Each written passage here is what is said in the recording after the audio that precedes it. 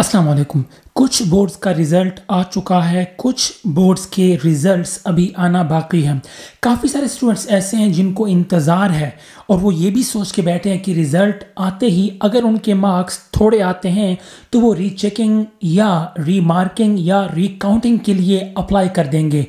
अब इस वीडियो में मैं आपको बोर्ड की जो रूल्स हैं कि आपकी जो रीचेकिंग या रीकाउंटिंग है, वो कैसे की जाती है?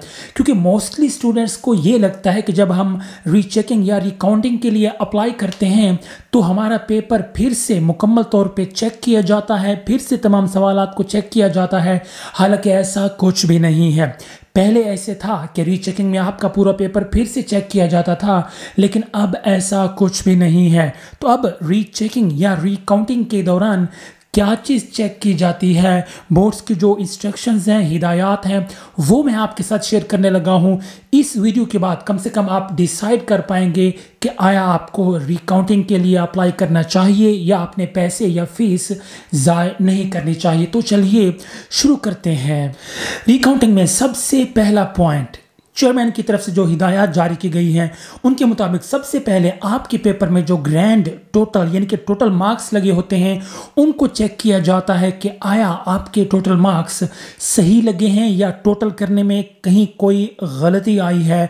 उन ग्रैंड टोटल को चेक किया जाता है पहले नंबर पे। दूसरे नंबर पे, क्योंकि पेपर के मुख्तलिफ़ पार्ट्स होते हैं। हर पार्ट के एंड पे जो क्वेश्चंस के मार्क्स होते हैं, वो लगाए जाते हैं। तो हर पार्ट में जितने मार्क्स लगे होते हैं, उन सब का टोटल करके उन्हें चेक किया जाता है कि आया किसी पार्ट में कहीं टोटल मार्किंग में कोई कमी है या कहीं कोई गलती तो नहीं है। मुख्तलिफ़ जो पार्ट्स हैं आपके पेपर के, उनके टोटल मार्क्स को चेक किया जाता है। तीसरे नंबर पे क्योंकि हर क्वेश्चन का जो नंबर होता है या जो उनके जो मार्क्स होते हैं चेक करते वक्त जितने भी मार्क्स होते हैं, साथ में मार्क्स लगा दिए जाते हैं। उसके बाद उन मार्क्स को टोटल करके हर पार्ट के एंड पे टोटल मार्क्स लगाए जाते हैं। फिर उसके बाद तमाम पार्ट्स के टोटल मार्क्स को ऐड करके, जमा करके फ्रंट पे लगा दिए जाते हैं। तो चौथे नंबर पे फ्रंट पे जो मुख्तलिफ़ पार्ट्स के टोटल मार्क्स लगाए जाते हैं, उनको चेक किया जाता है कि कहीं टोटल मार्क्स लगाने में एग्जामिनर से कोई गलती तो नहीं हुई। अगले स्टेप में क्या चेक किया जाता है? जो आपके टोटल या ग्रैंड टोटल मार्क्स हैं, उनको टैली किया जाता है लिस्ट में मार्क्स के साथ। देखिए, जब पेपर चेक हो जाते हैं तो उसके बाद एक लिस्ट बनाई जाती है। उस लिस्ट में तमाम स्टूडेंट्स के टोटल मार्क्स लिखे जाते हैं। उस लिस्ट के मार्क्स को आपके पेपर के जो ग्रैंड टोटल हैं, उनके साथ टैली किया जाता है कि वहाँ पे शायद कोई गलती हो, कोई मार्क्स आगे पीछे हो गए हों। फिर वहाँ पे चेक किया जाता है। अगर वहाँ पे कोई गलती हो तो उसे Другий कर दिया जाता है।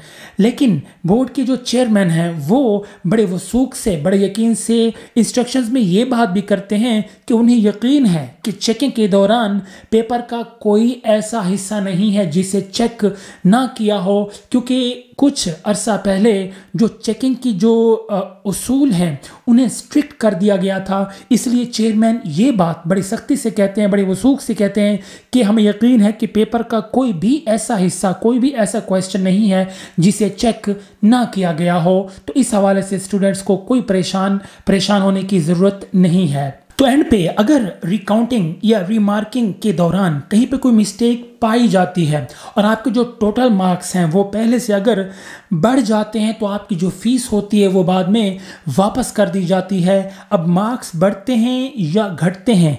मार्क्स की चेंजिंग की सूरत में आपको अपना जो आपका रिज़ल्ट कार्ड होगा, वो वापस जाके बोर्ड ऑफ़िस में जमा करवाना है। वहाँ से एक और तरमीम शुदा रिज़ल्ट कार्ड वहाँ से ले लेना है। कोशिश करें कि अगर आपको यकीन है कि चेकिंग के दौरान कहीं कोई ना कोई गलती हुई है एग्ज़ामिनर से?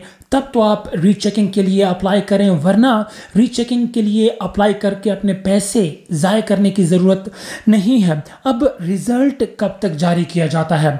बोर्ड्स की जो हिदायत हैं, उनके मुताबिक आमतौर पर रिज़ल्ट 20 दिनों के अंदर जारी किया जाता है। लेकिन कभी कभार ऐसा होता है कि कुछ स्पेशल चांसेस में चेयरमैन बोर्ड को रिक्वेस्ट की जाती है कि थोड़ा सा रिज़ल्ट को डिले किया जाए। तो कभी कभी ऐसा होता है कि तीस दिन, यानी कि एक महीना भी लग सकता है। तो आप अपने जहन में एक महीना रखिए कि बीस दिन से एक मंथ के दौरान आपका जो रिज़ल्ट होगा रीचेकिंग या रिकाउंटिंग या रीमार्किंग का, वो जारी कर दिया जाएगा। तो ये वो हिदायत हैं जिन पे तमाम, पाकिस्तान के तमाम बोर्ड्स ने इत्तेफाक किया हुआ है।